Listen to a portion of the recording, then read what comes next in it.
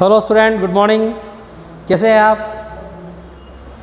आज हम नया फिक्शन स्टार्ट कर रहे हैं हॉर्नबिल का fiction five the ailing planet the green movement role the ailing planet green movement role in this video we will study about the summary of the chapter clear बच्चा?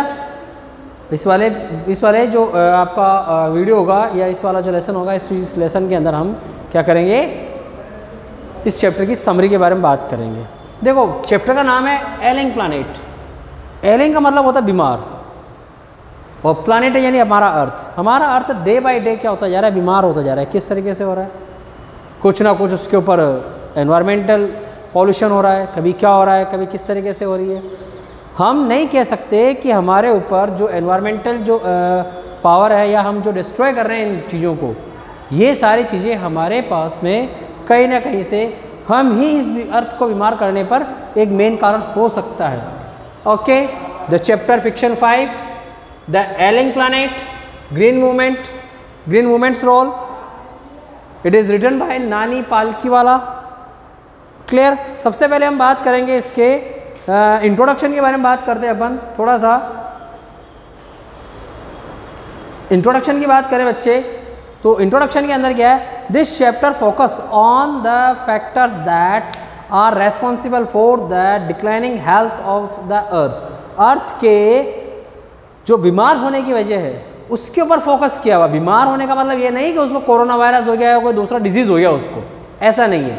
बीमार होने का मतलब हो गया कि बच्चा उसके ऊपर जो पॉल्यूशन हो रहा है, इसकी वजह से ऑक्सीजन की कमी हो रही है या कार्बन डाइऑक्साइड बढ़ रहा है, वह सारी चीज़ें क्या होती जा रही है, इस अर्थ को खराब कर रही है। This chapter was originally an article written by Nani Palkiwala, which was published in the newspaper, The Indian Express, on November 23rd 1994 नवंबर 23rd 1994 के अंदर एक आर्टिकल लिखा था नानी पालकी वाला ने ये जो चैप्टर ये उसी से लिया गया है। The writer discuss on the the writer discuss the green moment यहाँ पर ग्रीन मोमेंट के बारे में बातचीत कही गई। How a zoo in Zambia declared human beings as world's most dangerous animal Zambia के अंदर, एक जू के अंदर, एक डिक्लेयर किया गया कि इस संसार का सबसे खतरनाक प्राणी कौन सा है? तो इंसान को ह्यूमन बींग को उन्होंने डिक्लेयर किया। समझ में आ गया? The writer also focus on the over population यहाँ पर राइटर हमारी जो अर्थ बीमार हो रही है, उसका एक फैक्टर क्या बताता है? ओवर पॉपुलेशन पॉपुलेशन का डे बाई डे इंक्रीज हो जाना। कहा जाता है, हर चार साल में एक मिलियन पॉपुलेशन बढ़ जाती है। क्लियर ठीक है? अब हम बात करते हैं इसकी समरी के बारे में। ये तो इंट्रोडक्शन हो गया। अब अपन समरी की बात करते हैं। In this chapter the writer raises an issue towards the toward the deteriorating health of the earth earth की जो हेल्थ को नष्ट होना धीरे धीरे कम होना, यही हमारे इस चैप्टर के अंदर सिखा रहा है as human beings have been exploiting nature resources from decades. Uh, presently, the condition has made the environmental critical. यहाँ पर human beings resources natural resources को कई सालों से अपने यूज़ करते हुए आ रहा है। कई सालों से यूज़ कर रहा है उसको नष्ट करते जा रहा है यूज़ करते जा रहा है। ये एनवायरनमेंट की धीरे धीरे कंडीशन कम होती जा रही है। जैसे हम देखें कोयल की बात करते हैं पेट्रोलियम की बात करते हैं जितने भी पेट्रोलियम रिसोर्सेज हैं ज़्यादा डे बाई डे उनका यूज़ होता जा रहा है तो वह कम होता जा रहा है। तभी तो आजकल कारें किसकी तरफ़ जा रही है? इलेक्ट्रिक कार की तरफ़ मुड़ रहे हैं या बाइक्स, इलेक्ट्रिक बाइक की तरह मुड़ा जा रहा है। In 1972 seventy two the green movement help the environmentalist to raise awareness about the harmful condition of the earth and since then there has been no looking back as the movement was been successfully educating people about the conversation of the environment तभी तो 1972 के अंदर एक green movement चलाया गया। इस green movement की help से एनवायरमेंटलिस्ट को बहुत हेल्प मिली। इसके अंदर टू रेज अवेयरनेस की क्या कर रहे हैं कि हर बार अवेयरनेस होती जा रही है, कहा जा रहा है कि हमें अवेयर होना चाहिए, हमें किसी न किसी तरीके से, हमें अपने आप को सुरक्षित रखना चाहिए, हमारे अर्थ को भी सुरक्षित रखना चाहिए। Earth is like a patient whose health is decline and it is our duty to improve it ये हमारी ड्यूटी बनती है।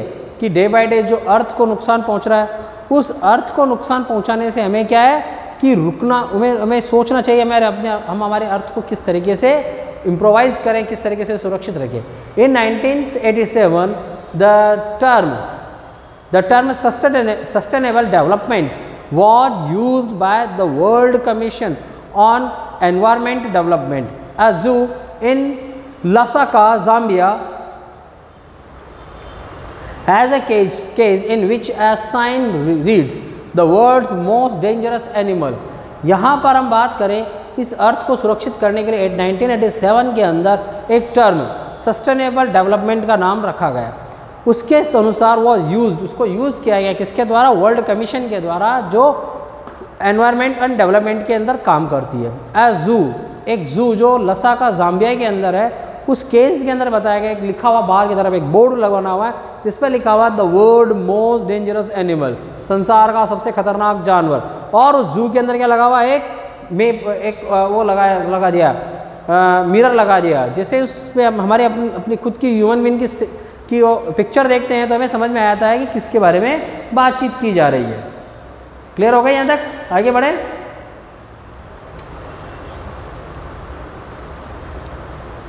Bandit Commission raised a question. Are we to leave our successor to closed uh, planet of advancing desert? क्या हम आने वाले समय में एडवांसिंग डेजर्ट के नाम पर हम क्या इस तरीके से प्लानट सौंप रहे हैं दूसरों को? ये एक क्वेश्चन किया गया किसके द्वारा? ब्रांडेड ब्रांडेड कमीशन के द्वारा।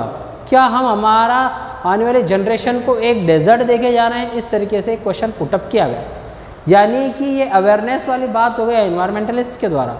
There are four principal biological systems that from that form the foundation of the global economic system हमारे पास पे चार बायोलॉजिकल सिस्टम है। कौन कौन से हैं?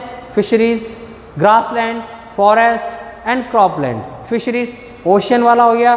ग्रासलैंड मैदान वाला हो गया, फिर उसके बाद में थर्ड फॉरेस्ट जंगल हो गया और क्रॉपलैंड जिस पर हम अपनी फ़सल उगाते हैं।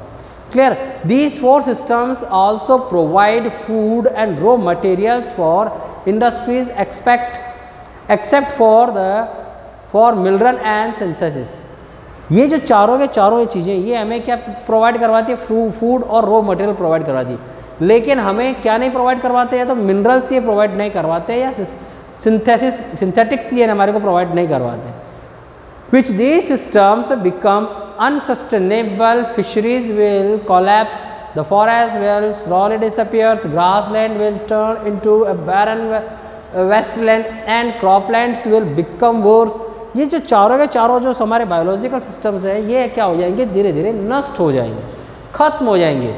जैसे फिशरीज गायब हो जाएगी कोलेप्स हो जाएगी फॉरेस्ट धीरे धीरे खत्म हो जाएँगे क्योंकि उन्हें काटा जा रहा है दूसरा हो रहा है हमारे ग्रासलैंड भी खत्म हो जाएँगे और वो वेस्टलैंड बन जाएँगे और क्रॉपलैंड जो है वो धीरे धीरे क्या हो जाएँगे बिकम वर्स हो जाएँगे खराब हो जाएँगे। इन पुअर कंट्रीज़ गरीब जो कंट्रीज़ है गरीब जो देश हैं forest are being cut down for fuel wood which is use for cooking purpose जो गरीब जो देश है वहाँ पर क्या हो रहा है बेटा कि धीरे धीरे इन लोगों इन आ, ये जो जंगल है वो काट दिया जा रहा है। किसके लिए?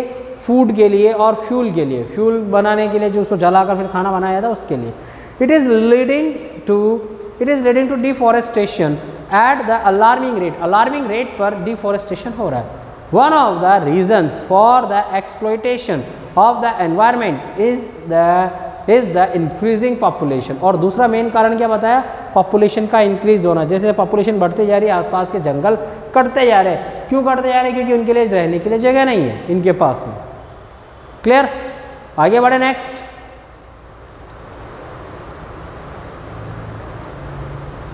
it is observe that about over population in the world ये कहा जाता है कि sorry it is it is observe that one million population is increasing in every four year one million population हर चार साल में बढ़ जाती है। ठीक है? they there is not a good sign ये एक अच्छा साइन नहीं है हमारे लिए there is an urgent need to control over population in the world development is the best contraceptive for this problem as it will help to uh, help in reduction in fertility increase the in education and income and Im, improvement in health देखो हम education की बात करें जैसे जैसे education बढ़ती जा रही है, बढ़ती जाएगी और आने वाले समय के अंदर ही ये क्या करेगी, इस प्रकार के जो पॉपुलेशन या इस तरीके की जो सिचुएशन है, उसको वह और कम करती जाएगी। We must see we must see the world as a whole and not a not a your this associated part ये एक्चुअल में हमारा अपना संसार है, ये दूसरों से का संसार नहीं है? It is a holistic and ecological view ये हमारे लिए होलिस्टिक और इकोलॉजिकल व्यू है। According to the Lester Brown Lester Brown के अनुसार we have not inherited the earth from our forefathers but we have borrowed it from our future generation Lester Brown ये कहते हैं कि ये जो जो जो अर्थ है, ये हमने हमारे पूर्वजों से पूर्वजों से नहीं लिए उनकी, वो हमारी वसीयत नहीं है ये अर्थ हमने क्या है, हमारे पूर्वजों से उधार लिए किसके लिए? हमारी आने वाली जनरेशन के लिए। तो हमें कोई हक नहीं बनता है कि हम इस अर्थ को हम खराब करें इस अर्थ को हम डिस्ट्रॉय करें। ठीक है बेटा? तो ये आपका क्या हुआ? एक समरी हो गई। इस समरी को मैंने पॉइंट वाइज लिखा हुआ सबसे पहले हमने, मैंने क्या लिखा? ग्रीन पॉइंट के बारे में। ये कब शुरू हुआ? ये इस चैप्टर के लिखने के 25 इयर्स पहले ही इसके बारे में आर्टिकल आया था। ठीक है ना? द पार्टी फाउंडेड 1972 की बात कर रहा है ये। 1972 की बात कर रहा है। इस समय ये हुआ था, कहाँ हुआ था? न्यूजीलैंड के अंदर हुआ था। न्यूजीलैंड के अंदर हुआ था। क्लियर नेक्स्ट हम बात करते थे green party founded in 1972 in New Zealand the movement gaining mount momentum rapidly इस मोमेंट को और आगे बढ़ाने का ये वाली काम चालू हुआ, किसका? ग्रीन मोमेंट का। सेकेंड मैंने पॉइंट बनाया shift in human perception shift in human perception का मीन्स ये हो गया people's perception towards environment changing हमारा ध्यान किसकी तरफ़ जाना है? एनवायरमेंट चेंज की तरफ़ चले जाना है। View shifted from mechanistic to holistic हमें मैकेनिस्टिक टू हॉलिस्टिक की तरफ़ जाना है एंड इकोलॉजिकल सिस्टम की तरफ़ जाना है। इस तरीके से हमारे ह्यूमन को हमें किस तरफ़ डाइवर्ट करना है? हमारे इकोसिस्टम की तरफ़ डाइवर्ट करना है और हमें इसके बारे में समझाना है। नाउ प्लानट अर्थ हमारा जो अर्थ है, ये हमारे लिए एक वरदान है जो ईश्वर के द्वारा दिया गया। दूसरा हमने क्या किया? Four biological system four biological system हमने पढ़ी थी। अभी फिशरीज पढ़ी थी। फिर उसके बाद में हमने क्या पढ़ा था? एक और second point fisheries grassland forest और क्रॉपलैंड फिर उसके बाद हमने पढ़ा था forest in India and present scenario हमारे देश के अंदर भी धीरे धीरे क्या होता जा रहा है? डिफॉरेस्टेशन होता जा रहा है। और हमारा जो प्रेजेंट सिनेरियो ये बड़ी दयनीय कंडीशंस के अंदर आ चुका है। नेक्स्ट हमने पढ़ा था पॉपुलेशन फैक्टर ग्रीन इस अर्थ को बीमार करने का एक और मेन फैक्टर क्या हो गया? पॉपुलेशन फैक्टर जैसे जैसे इंक्रीजिंग होती जा रही पॉपुलेशन उस तरीके से जो लैंड है कम होते जा रहे हैं फॉरेस्ट कम होते जा रहे हैं उसको बढ़ाने के लिए। Now increasing concern to save the planet earth और लास्ट में राइटर ये कहता है कि हमें किस तरीके से हमारे अर्थ को सेव करना चाहिए। ये आपकी समरी होगा बेटा। Now in the next video we will read the chapter and understand about the whole paragraph I hope so you have understood about the summary and you have come to these seven eight points and it will help you to develop your writing section. And it will help you to uh, understand about the chapter. Okay good day and goodbye